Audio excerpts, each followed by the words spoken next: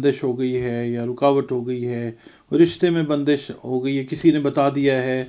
आप की खिदमत में हाज़िर हूँ, एक आप समझ लें, अमल है, एक काम है, अल्लाह रब्बुल इज़्ज़त ये है कि हर किस्म की, किसी भी किस्म की बंदिश है, चाहे रिश्ते में है, चाहे कारोबार में है, चाहे तालीम के हसूल के अंदर है उसमें आपने पढ़ना है, अलिफ़ लाम, मीम से लेकर हमुल मुफलहून तक जो है कई लोगों को, कई मर्दों को प्रॉब्लम होती है कि जनाब उनको कहा जाता है कि जनाब आपका जो जो फ़िज़िकल जो मामला है, यानी आपकी जिस्मानी जो ताकत है, उसको बाँध दिया गया तो उसके लिए भी ये अमल जो है, वो काम करेगा इन क्योंकि कलाम पाक है। और उसका भी तरीका यही है कि गसल जो है, वो आप ले लें। जो आपने अमल करना है, ये आपने करना है पाँच दिन, सात दिन और ग्यारह दिन, इससे ज़्यादा ये नहीं करना। मैक्सिमम इसकी लिमिट जो है वो ग्यारह दिन है। बसमीम अल्लाह महमद आल महमद डियर व्यूअर्स अस्सलाम वालेकुम मैं आपका एस्ट्रोलॉजर डॉक्टर मोहम्मद अली, आपके अपने platform doctor M Ali astrologer से आपके साथ मुखातिब। और आपके लिए दुआ गो कि अल्लाह रब्बुल इज़्ज़त आपकी दीन और दुनिया की जो मुश्किलें हैं, उनके अंदर आपके लिए आसानियाँ और राहतें पैदा फरमाए। और दुआगो हूँ कि अल्लाह ताला जो भी इस वक्त हमारे मुल्क के हालात हैं, अल्लाह ताला उनको बेहतर से बेहतरीन की तरफ़ ले जाए। काफ़ी परेशानी है इस वक्त, मगर फ़ान्ना मालूसर यूसरा। हर हर मुश्किल के साथ आसानी है तो चीज़ें हमारी इन बेहतर होने के लिए जा रही हैं। व्यूअर्स मैं यहाँ पे ना एक दो चीज़ें आपके साथ शेयर करना चाहता हूँ। मुझे बहुत सारे फ़ोन कॉल्स आते हैं कि कोई मामला हो गया बंदिश हो गई है या रुकावट हो गई है रिश्ते में बंदिश हो गई है किसी ने बता दिया है कारोबार में बंदिश हो गई है किसी ने बता दिया है। आ, भाई उसका हल भी बताया होगा। हल बताया है जी कि इसके लिए ये सदका देना है ये बकरा देना है ये तावीज़ ले लें ये गंडा ले लें ये धागा ले लें ये सीरी ले लें ये पाए ले लें इधर दबा दें उधर उधर लटका दें। तो इस तरह की चीज़ें जो हैं, वो लोग बेचारे बताते हैं। तो मैं तो ये देखता हूँ कि देखें, नबी पाक सल्लल्लाहु अलैहि वसल्लम के दौर में इस तरह की चीज़ें होती थी। तो उस वक्त फिर सिम्बॉलिकली जो है, वो मौजतैन का नजूल हुआ। और बताया गया कि अगर कोई इस तरह का इशू होता है तो आप अपना जो है मामला, वो ख़ुद कुरान करीम से हेल्प लेके जो है, वो सॉल्व सॉल्व करें। अल्लाह की मदद उसके अंदर आती है, क्योंकि खालसता अल्लाह रबुल्ज़त का कलाम है। तो बहन, भाई, बच्चे, बच्चियाँ, कोई रिश्ते की बंदिश बता देता है, कोई तो परेशानी होती है। और फिर ऊपर से ये पता चलता है कि जी फ़लाने बंदे को हमने इतने लाख दे दिए, फ़लाने को हमने इतने दे दिए। तो वो फिर चुप कर जाते हैं। हम तो जानते ही नहीं किसी को, हमने आँखों से तो नहीं देखा। हम तो सिर्फ़ जो बात सुन रहे हैं, उसकी बात हम आपके साथ कर रहे हैं। तो मैं यहाँ पे आप की खिदमत में हाज़िर हूँ। एक आप समझ लें, अमल है, एक काम है। अल्लाह रब्बुल इज़्ज़त की पाक किताब में से हमने मदद लेनी है, हर चीज़ के लिए किताबुल हिकमत है।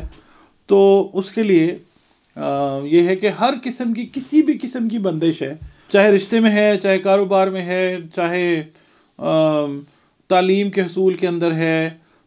कई दफ़ा ये होता है कि कोई नेगेटिव एनर्जीज होती हैं या कोई नेगेटिव लोग भी होते हैं इस दुनिया में, पता नहीं क्या करते हैं, वो भूले हुए हैं, अल्लाह ताला को या आखिरत को भूले हुए हैं। वो बहुत सारे लोग जो हैं उस तरह की शरारतें भी करते हैं। तो लोग कम इल्मी की वजह से और कुरान करीम से दूरी की वजह से इसको, इसके अंदर रिसर्च नहीं करते, इस वजह से तवीज़ धागों वालों के पास जाते हैं, लुटते हैं, बर्बाद होते हैं, जलील होते हैं, ख्वार होते हैं और फिर एंड पे क्या होता है? अल्लाह के आगे जब झुकते हैं, फिर अल्लाह रब्बुल इज़्ज़त जो है वो ज़ाहिर है वो तो सत्तर माओ से ज़्यादा प्यार करने वाली पाक ज़ात है, वो फिर रहम फरमाता है और फिर मामला ठीक हो जाते हैं। अच्छा बंदिश के खोलने का जो अमल है, काम है, वो मैं आप सबकी खिदमत में पेश कर रहा हूँ। वो आप ख़ुद करें, आप सबको इजाज़त भी है। और ये है कि अल्लाह रब्ज़त की तरफ़ से जब इजाज़त है तो फिर हम कौन होते हैं? आपको इजाज़त ना देने वाले या आप पे ये लगाने वाले, आपको डर, खौफ के बिज़नेस में डालने वाले नहीं नहीं नहीं नहीं, ये नहीं करना, ये करने से ये हो जाएगा, इजाज़त होनी ज़रूरी है। भाई, कर लें। कुछ चीज़ें होती हैं जिनके लिए वाकई इजाज़त की ज़रूरत होती है, मगर ये कुरान पाक है। ये सब के लिए आम है। इसकी तरतीब जो है ओरिएंटेशन करके वो मैं आपको बता रहा हूँ। वो आप करें, उस तरीके से हर किस्म की जो बंदिश है, वो अल्लाह ताला अपनी रहमत से ठीक कर देगा। अब आते हैं हम अमल की तरफ़। आपने ना एक वक्त मुकर कर लेना है। मोस्ट सूट सूटेबल टाइम जो है, वो इशा की नमाज़ के बाद ही आप काम कीजिए। अच्छा आप अव्वल और आखिर ग्यारह ग्यारह मरतबा जो है, वो दरुज शरीफ पढ़ें। दरुज शरीफ कोई सा भी पढ़ लें। उसके बाद अलहम शरीफ पढ़ें ग्यारह मरतबा। फिर आयतल कुर्सी पढ़ें इकतालीस मरतबा। सूरत यासीन पढ़ें एक मरतबा। कुल या अयोहल काफिरून जो है, वो आपने पढ़ना है तीन मरतबा। ठीक है? उसके बाद सुर अखलास सुर फलक और सुर वन्नास, ये भी आपने तीन तीन मरतबा पढ़नी है। ठीक हो गया जी? उसके बाद आपने पहला जो सिपारा है उसमें आपने पढ़ना है अलिफ्लाम मीम से लेकर हमुल मुफलहून तक जो है, वो आपने एक बार पढ़ना है। ठीक है, ये अलिफ्लाम मीम, ज़ालिकल किताबुल वफ़ी हुदलमुत यहाँ से लेकर हमुल मुफलहून तक आपने एक दफ़ा पढ़ना है। अच्छा फिर आपने दोबारा अलहम शरीफ जो है, एक दफ़ा पढ़नी है। उसके, ये सब ना एक बार, ठीक है? अच्छा इस तरह ये अमल जो है, आपने तीन दफ़ा रिपीट करना है। ये जो मैंने सारी तरतीब आपको बताई है ना ये तीन दफ़ा करना और आपने क्या करना है कि एक सब्ज़ रंग का कपड़ा आ, सूती कपड़ा आपने लेना है। ये अमल करने से पहले बावजू के ज़ाहिर आपने करना है। सूती एक कपड़ा जो है ना ग्रीन एक रुमाल के साइज़ का वो आपने लेना है। और आपने ऐसे मसले पे कर रहे हैं या टेबल पास है कुर्सी पर बैठ के कर रहे हैं जिस तरह से भी है आपने उसको ऐसे बिछा देना है। उसके ऊपर एक पानी का ग्लास जो है, कांच का, वो भर के रख देना है। और ये सारा जो आपको मैंने बताया है, ये पढ़ के आपने उस पानी के ऊपर दम कर देना ठीक है जी? अच्छा अब अगर आपकी दुकान में बंदिश है, काम नहीं चल रहा जी, आपको किसी ने कह दिया जी, कारोबार को बाँध दिया है, ऐसे हो गया है, इस तरह हो गया तो आपने क्या करना है कि एक स्प्रे गन होती है, वो बोतल होती है जिसमें ऊपर स्प्रेयर लगा होता है ना आपने जो पानी दम किया है, वो पानी उसके अंदर डाल लें। अच्छा उसके बाद वो आपने पानी दुकान के अंदर ऐसे स्प्रे करना है कि वो पानी नीचे ना गिरे। स्प्रे आपने करना है, चार कोनों में आप उसको स्प्रे कर दें। ठीक है जी? अच्छा उसके बाद कई लोग हैं, वो कोई प्रॉपर्टी बेचना चाह रहे हैं, ज़मीन है, उसमें मतलब ज़मीन ने बिक्री वो भी कह रहे हैं किसी ने बंदिश कर दी है तो फिर उस जगह के ऊपर चले जाएँ जैसे अगर ज़मीन है ना, वहाँ पे तो आप पानी का छिड़काव नहीं कर सकते क्योंकि कुरानी आयात हैं। आप वहाँ पे जाएँ और वहाँ पे ये काम करें। या अगर नहीं जा सकते तो जिस जगह पे आप मौजूद हैं, वहाँ पे ये अमल करके अल्लाह ताला से उस ज़मीन के लिए, बिकने के लिए दुआ करें। या ज़मीन अगर आबाद नहीं हो रहा, हो पा रही तो उसके लिए दुआ करें। अच्छा फिर अगर मकान आप देख रहे हैं कि आपने सेल आउट करना है, गाहक नहीं लग रहा तो ये अमल करें। अच्छा फिर इसके बाद आप ये करें कि अगर आपके मकान में वहशत है, वीरानी है, आपको फील होता है कि पता नहीं क्या है, लोगों ने आपको कह दिया जी कोई जिन है, भूत है, चुड़ैल है, कुछ नहीं होता नेगेटिव एनर्जीज होती हैं। वो किसी भी शक्ल में हो सकती हैं, हम इससे इनकार नहीं कर सकते क्योंकि कुरान करीम ने जन्नात के वजूद को तस्लीम किया है। मगर ये है कि आपने ये करना है कि ये वहाँ पे, जैसे मैंने आपको छिड़कने का तरीका बताया वो, और वो पी भी लें पानी। जो घर वाले हैं, उनको पानी पिला भी दें।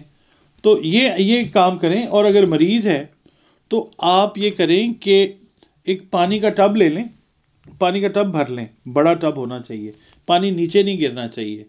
तो मरीज़ को या मरीज़ा को तीन डोंगे जो है ना, वो आप पानी के भर के उसके ऊपर डाल दें। टब में बिठा लें, बिठा के तीन डोंगे जो हैं, वो उसके ऊपर डाल दें। कई कई लोगों को, कई मर्दों को प्रॉब्लम होती है कि जनाब उनको कहा जाता है कि जनाब आपका जो जो फ़िज़िकल जो मामला है, यानी आपकी जिस्मानी जो ताकत है, उसको बाँध दिया गया तो उसके लिए भी ये अमल जो है, वो काम करेगा इन क्योंकि कलाम पाक है। और उसका भी तरीका यही है कि गसल जो है, वो आप ले लें। फिर उसमें यह है कि कई जो भैंसें हैं गायें हैं वो दूध नहीं दे रही हैं। दूध कहा जी, गाँव में किसी ने कह दिया जी, किसी ने बंद कर दिया है तो उसमें भी ये चीज़ जो है, ये काम करेगी। ये कि अल्लाह की कलाम है, ये पूरी कायनात पे काम करने वाली है। ये बंदिश का एक, खोलने का एक ऐसा खूबसूरत अमल है, जो अहादीस से हमने एक्सट्रैक्ट किया और आपकी खिदमत में पेश किया। इसको करें पूरे यकीन के साथ।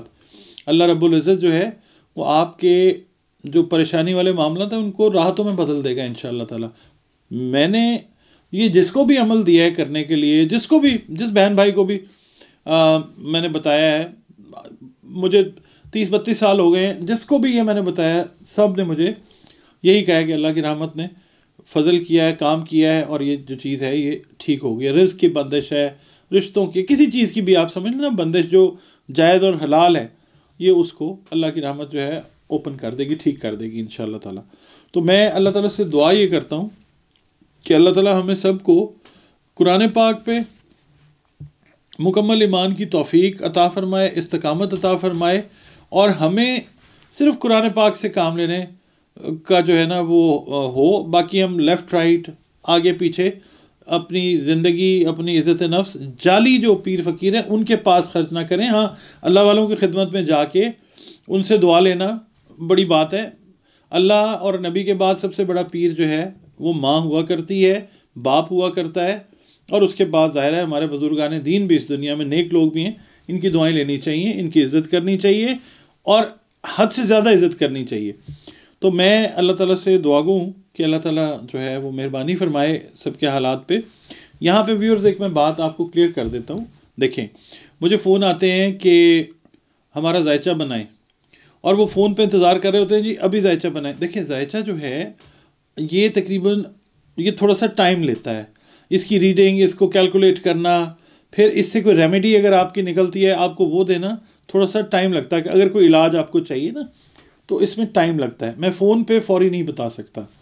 तो आपसे मेरी रिक्वेस्ट ये है मुदबाना इल्तमास आपसे ये है कि जनाब ये जो अपने क्वेश्चंस हैं, अगर व्हाट्सएप पे मुझे आप करें वॉइस मैसेज कर दें तो आपकी बहुत ज़्यादा मेहरबानी है, मेरे लिए आसान हो जाता है। जिन जिन लोगों ने मुझे वॉइस मैसेज मैसेजेस भेजे हैं, या मुझे इवन मतलब लिख के भी भेजे हैं मैसेजेस मैंने उनका जवाब दिया है। फ़ोन्स जो हैं वो एट टाइम्स मिस हो जाते हैं। होता क्या है कि एक कॉल आ रही है, दूसरी मिस हो जाती है। तो ये है कि बेहतर है कि अपने क्वेश्चन क्वेश्चन जो हैं, जो जो भी सवाल आते हैं, मुझे वॉइस मैसेज करें। एक एक का जवाब इन ताला मैं देता हूँ। इसके अलावा ये कि जायचा जो है, वो उसकी एक फ़ीस है। जायचा जो है, वो फ्री सर्विसेज़ में नहीं है। जो आप मेरे से पढ़ने के लिए पूछते हैं, कुरान पाक से या अहदीस से, वो बिल्कुल फ़ी सभी ला है, उसके अंदर कुछ भी नहीं है। मुझे कई लोग कहते हैं अच्छा आपने तो जी दुकान बनाई हुई है और ये भाई देखें, एस्ट्रोलॉजी जो है, मैं बोलता हूँ, ये कोई रूहानी इलम नहीं है, जिसका ताल्लुक किसी किताब से हो, डायरेक्ट। हाँ कुरान पाक में ज़िक्र ज़रूर है सैारों का, सितारों का। मगर ये है कि ये जो जायचा बनता है, ये दुनियावी फार्मूले इसके अंदर हम लगाते हैं, इसलिए हमने इसकी एक फ़ीस रखी है, उसके ऊपर मेहनत है। और बाकी जो है, कलाम पाक से जो चीज़ देनी है, वो वो अल्लाह की कलाम है, उसको बेचा नहीं जाता। तो उसका एहतराम है। वो आप मुझसे एक दिन में हज़ार लोग फ़ोन करें, सबके लिए वो फ़ी सभी ले है हाँ अगर जायचे के लिए कहेंगे तो उसके लिए जो है वो फ़ीस है। हाँ कई लोग कई लोग ऐसे भी हैं कि जो हमारी फ़ीस तय होती है, वो कहते हैं कि जी आप कम कर लें तो वो और चीज़ है। मगर ये है कि जायचे की फ़ीस है और अल्लाह के कलाम को पूछने की कोई फ़ीस नहीं है पढ़ने के लिए। वो मैं आपके लिए हाज़िर हूँ। मैं फिर अल्लाह ताला से दुआ हूँ कि अल्लाह ताला हमारी दीन की और दुनिया की जो मुश्किल हैं, उनको दूर फरमाए। और यहाँ पे मैं एक चीज़ और क्लियर कर दूँगा कि ये जो आपने अमल करना है, ये आपने करना है पाँच दिन, सात दिन और ग्यारह दिन, इससे ज़्यादा ये नहीं करना। मैक्सिमम इसकी लिमिट जो है वो ग्यारह दिन है। ठीक है जी? बहुत शुक्रिया। अल्लाह हाफ़